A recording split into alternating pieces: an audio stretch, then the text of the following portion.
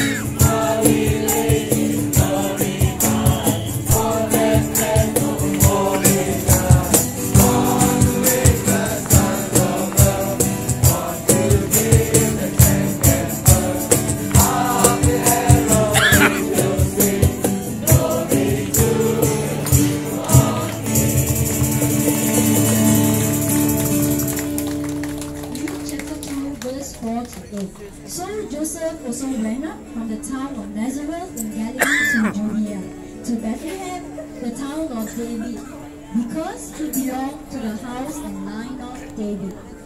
He went there to register with Mary.